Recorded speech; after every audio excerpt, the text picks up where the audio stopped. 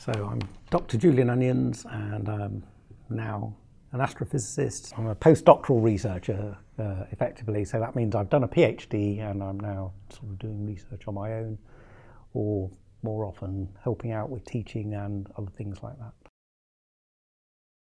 Uh, well, I've had two goes at this uh, because you know, originally I, uh, after doing A levels, I went to do physics and it just seems such a cool thing to be a physicist. You know, you get to understand the whole of the universe. Uh, but the second time I came to it, uh, so I, had gone off into industry and done other things, uh, computer programming mostly.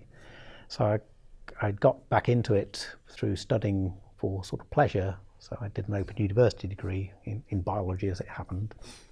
Uh, but you could take a few extra credits on anything you liked. So I had to go at some of the astronomy. And it just never occurred to me how much astronomy had moved in, um, sorry, moved on in the time I hadn't sort of been focused on it, and how much people really now understood of how stuff works in space, billions of miles away. You can work out how a sun works, and you can work out how big stars work, and, and what happens at the end of them. And all this stuff just sort of blew me away. And I thought, I just need to know more about this. I need to go and study this. Kind of wanted to be an astronaut because uh, everybody did at that time, uh, but I, I, guess I could see that was probably going to be fairly unrealistic, being in the UK and everything happening in the US. Although today it's it's quite possible. Uh, so after A levels, I had uh, I either wanted to be a, an airline pilot or a physicist.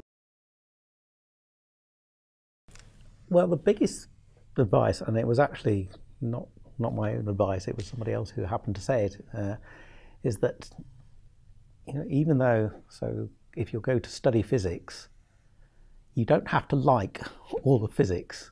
Uh, there's parts of physics, uh, in this case, that you will really, really like, and, and you will just you'll want to study it and you'll want to understand it and all that. And there's other bits that you really just have to struggle through.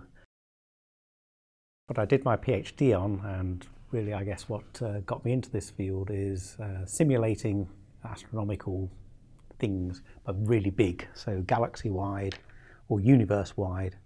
So we, we take a box of uh, particles and we simulate how that all came together after the Big Bang and formed uh, galaxies and other things like that. And then you look into the results and see whether it equates with what we find by studying the universe through telescopes and either it does or it doesn't and, it, and if it does then it proves our simulation's right if it doesn't then sometimes that uh, it either means there's bugs in the code which is quite common or it means that we found something interesting that uh, we might need to go and look out into the universe.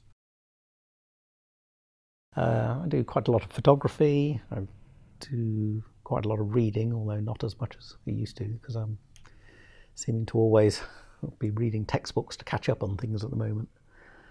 Um, I've got two children and they use and and and various dogs, so they, they take up the rest of the time.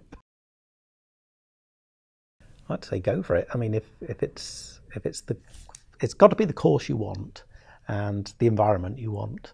But if those two things work out, you know, Nottingham is a really good university.